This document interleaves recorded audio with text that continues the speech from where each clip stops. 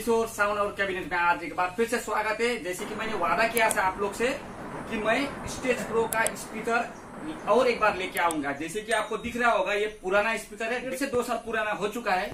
Before last year हम लोग इसमें दुर्गा पूजा में लिए थे। अभी दुर्गा पूजा आने के लिए केवल डेढ़ महीना बाकी है, दो साल होने वाला है। स्टेज प्रो, बाई दरा के सामने में दिखाओ। ये देखिए, स्टेज प्रो का स्पीकर है। यहाँ stage pro S W eighteen zero twenty seven. ये स्पीकर है, देख लीजिए।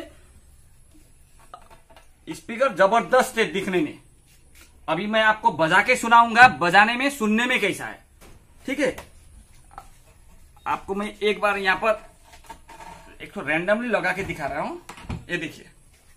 पुराने स्पीकर आप लोग को जैसे कि मालूम चल रहा होगा, पूरा पुराना डस्ट पूरा लगा हुआ है।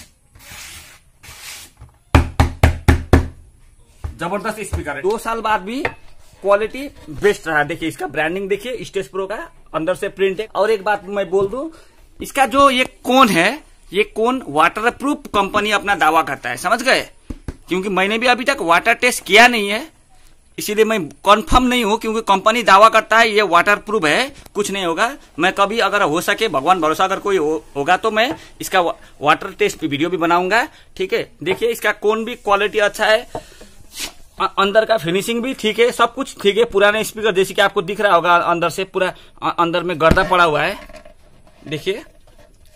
और क्या बोले, इसमें चार इंची का वॉइस कल लगा हुआ है। वॉइस कल चार इंची इन आउट लगा हुआ है कॉपर कोयल है, ठीक है? यहाँ पर आपको जैसे कि देखिए stage pro S W eighteen zero twenty seven ठीक है? सीरियल नंबर दिया गया है एट ओम्स का स्पीकर है, हज़ार वाट का स्पीकर है।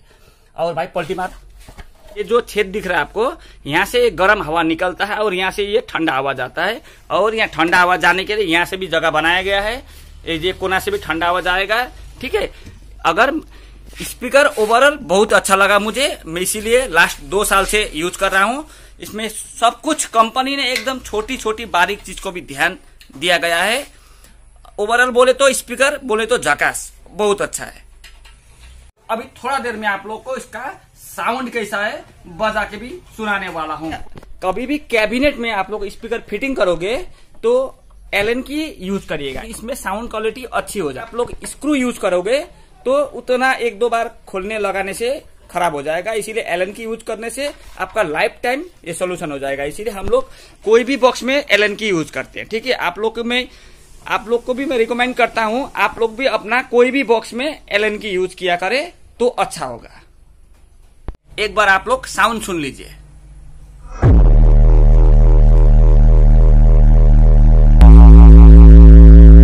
जो छत दिख रहा है आपको, ये कितना वाइब्रेशन होगा, अब ये मालूम चल जाएगा। चलिए पहले आपको वाइब्रेशन सुनाते हैं। भाई, साउंड दो।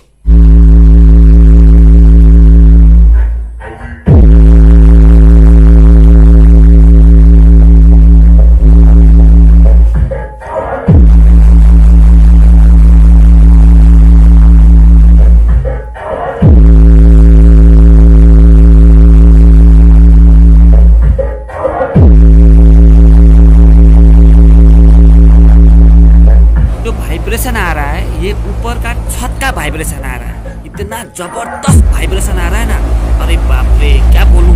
मुझे तो मजा आ गया। जबरदस्त वाइब्रेशन